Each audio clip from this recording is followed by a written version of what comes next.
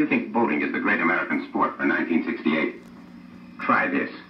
Pontiac announces the great American sport for 1968. Wide tracking.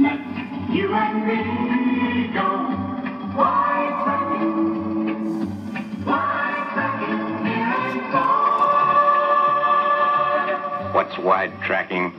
It's the difference between plain, ordinary driving and driving a car like this new 1968 Pontiac Firebird. Wide tracking is the way the 68 Firebird handles, corners, and maneuvers with a new improved ride you won't believe until you try it.